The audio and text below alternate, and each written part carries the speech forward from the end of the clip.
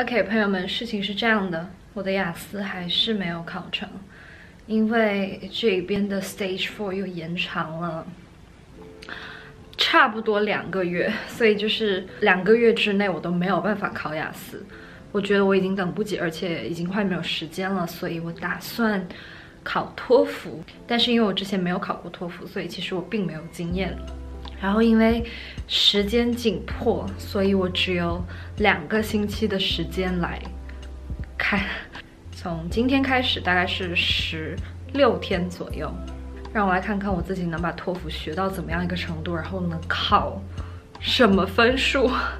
今天我要做的呢，就是先大概了解它的题型和一些，嗯，它考的内容啊，然后出题的方式啊，什么什么的。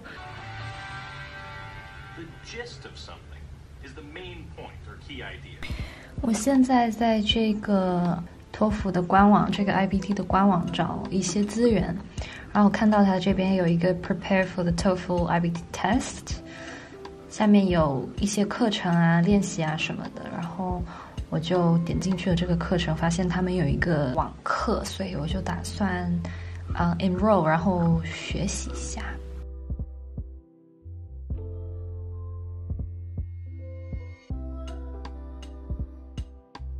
把这个网课的阅读部分给学完了，总结了一个这样子的大概的思路，就包括啊这个形式，就是一些小技巧在这边，然后这边是问题形式，还有就是怎么列一个框架。我打算下午看一下这个听力部分吧。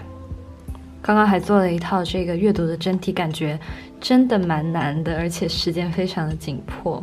啊，学术类的词汇真的非常的多，所以我就打算开始在我的手机上背这个托福的必备词汇。下午把网课听力的部分给学完了，然后做了这些笔记，也做了一套真题，感觉还可以。啊，口语跟作文明天再看网课的内容吧。离我的托福还有十三天。今天我要把口语跟嗯作文的网课给上完之后，就尽量的能多背到能多背单词就多背单词，嗯，这就是今天的计划。Now listen to part of a lecture in a psychology class. College always to be a film. He was a and he loved movies. All, he loved to write about these. So I graduated in the first film reviewer because as a film reviewer, he gets to see films for free and we about them. So he studied a major related to film reviewer, but he didn't get a job after graduation um, as a film reviewer, so he tried um, applying to be a news reporter. And it turned out that he is really good at it and he got adjusted. Um, he gained confidence when working as a news reporter. And after a couple of years, he was offered the news reporter job, but he doesn't want to take this job because he is too used to be a news reporter. So he um, turned that down. 这个是我今天的笔记，就是口语跟写作的笔记。我今天没有什么计划，因为我那个网课上完了，但那个网课也是比较基本的，就是讲题型的一个网课，所以我打算把这个写作的真题做一遍，然后背一下单词。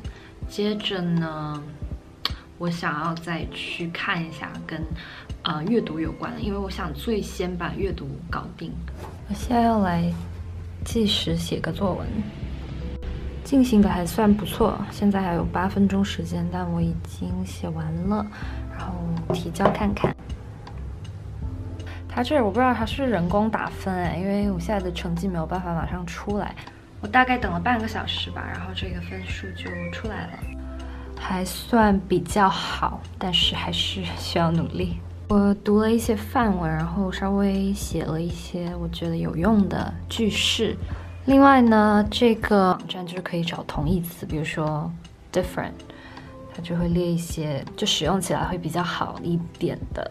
就有时候如果不想要一个词语用太多次的话，就可以用同义词的办法。我觉得这网站还挺挺好的，叫 the stories，the stories.com。今天是九月十七号，就说大概还有十一天我就要考试了。本来我今天打算。先背一下单词，因为一直说背单词背单词，然后都忘记背，所以就打算今天一开始就背单词。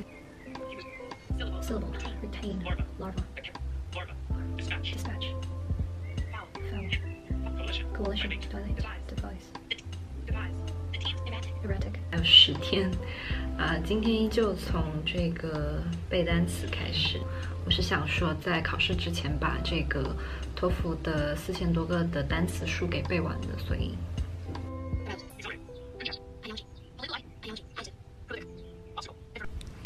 OK，今天已经背完了，还有九天我就要考试了。今天呢，我打算就是，嗯，把写作给做一个总结，就是总结一些近义词啊，然后，啊。背一些模板，再看看能不能再做一套整体，然后写作就到此。因为我觉得写作对我来说，托福的写作还算比雅思简单一点点，所以应该没有太大问题。现在呢，就是在做这个，嗯，同义词，看一下就是能替换啊素材什么的都看了一遍，写了一些自己就是记下了一些自己需要的。真题的话呢，今天就算了，然后。我想要来看一看这个呃阅读的长难句，因为我感觉这是比较吃力的部分，所以我就看一下这些长难句的训练和解析。大概就是这样子，稍微的看一下，然后训练一下。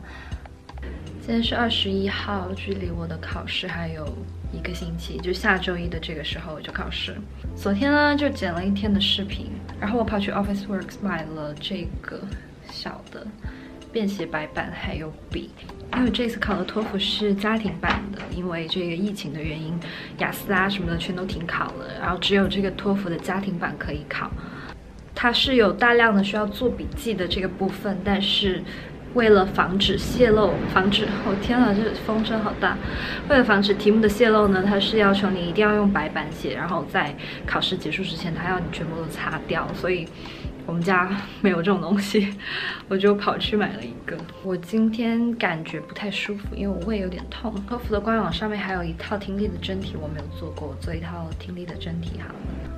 我刚刚做了大概五篇听力吧，就是三篇呃 lecture，两篇对话。我的正确率呢是五篇。五篇这个听力材料，然后我错了一道，所以就还 OK。所以呢，我现在来学习一下口语的部分。看 YouTube 上面大家就是发的一些关于托福口语的视频，然后简单的做了一些笔记。Specific phenomenon. I don't know. Cities in the U.S. How they are structured. 这些呢，就是我根据刚刚看的那个 YouTube 视频做的笔记。我的这个嗯托福账号的界面，它有一个倒数，还剩五天二十一个小时。那么我今天的打算呢，依旧是把单词先背了。今天练习一下口语好了。我现在在练习这个嗯独立的口语，就是问你的观点，对一个事物的观点。但我觉得最大问题在于。它只有四十五秒的给你说的时间。现在讲完我的第一个 reason，就还剩五秒钟。And uh, the second reason is that um, I get chance chances to meet a lot of different people since you're traveling alone. Um, it's easier for you to approach them, talk to them, and it's just it's a totally different experience if you get to know a lot of people on the road. 今天是二十三号了，还有五天。我今天再看一些 就是以往的真题，然后看一些范例，看一下大家答题的思路，然后自己训练一下这个答题时候的感觉，还有就是尽量的控制时间，还有把这个要点归纳并且说出来。我稍微做了一个小计划，就是还剩一二三四天，接下来四天要做的事情。今天的任务呢，就是做阅读真题，然后我现在在手机上面做，已经做了两篇了。但结果并不是很理想，还是错了蛮多的。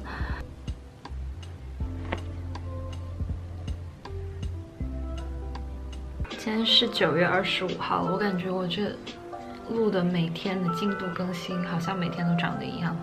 今天我打算呢，我之前写的计划是写作的模考，但是啊，我还是需要就是赶一下单词的进度，因为还剩三天，但是我还有。那本词书里面我还有大概两千多个单词没有背完，我来挑战一下，看能不能背完。嗯，能背多少是多少。接着呢，我想要再做一篇这个阅读，因为我觉得我的阅读还是不太满意。我现在背了一千一百九十七个，然后总共是有四千两百五十个，所以我大概只完成了三分之一，就还有三分之二。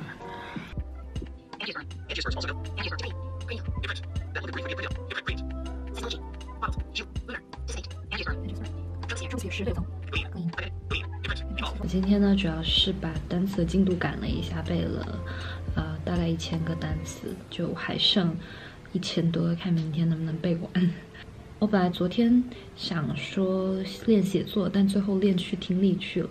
但是今天还是想要再练一下听力，暂定今天就是再磨一下听力。嗯，有时间的话再看一下写作吧。做题做到一半，看到外面突然有彩虹，这是不是我考试能考好的预兆？今天是二十七号，也就是说我明天就要考试了。我刚刚是做了两套口语真题。一套听力真题，然后把写作的框架梳理了一遍，再重点记忆了啊一些万能词句。然后如果晚上有时间的话，我想要做一套阅读真题。我的分数终于出来了，我这几天真的是紧张的紧张的都有点睡不着，然后在某个下午偶然间发现分数已经出来了。我还是比较满意的吧。其实写作并不是我的强项，而且阅读并没有什么时间做题，我就做了大概两套、三套真题这样子吧。口语也比我想象中要好，因为我觉得口语发挥的不是特别好。听力呢，就好在这次比较简单，所以就帮我争了口气。那虽然这个分数不是说特别特别的好，但是其实我自己是啊比较满意的了。几个小建议呢，就是第一个单词真的非常非常重要，因为托福本来就是啊比较学术的，所以其实很多单词如果你不背的话，你真的没有机会接触到，而且真的比较影响做题。我记得我当时的阅读有一题是这个岩石圈，就是 lithosphere。如果我当时没有背那个单词，我可能整个文章都会有一点点懵。但好在就是我背了这个单词，所以就是。心底比较有数，但是因为我觉得我阅读还是相对其他的几项来说比较弱。最重要的呢是要好好把握好时长，尽量就是多做真题，去熟悉这个做题的感觉。然后另外听力的话呢，我一开始的听力策略是不一样的。一开始的听力呢，我是记了很多的笔记，但发现真的没有什么用，因为主要它考的还是主旨，就是一个大意。基础比较好的话，你就不要去执着于。自己记笔记的速度，主要还是要去理解这个文章。然后作文呢，我得分也不是特别高，所以也没有什么好说的。最后一个就是口语了，口语的流畅度很重要，真的要流畅。其实跟听力有异曲同工之妙，因为毕竟两个都是要做很多笔记。这就是我这次试考托福的这一次经验。也希望这个视频能对你们有帮助。如果你喜欢这个视频的话，记得给我点赞、留言、评论、弹幕、转发喽！我们下期视频再见，拜拜。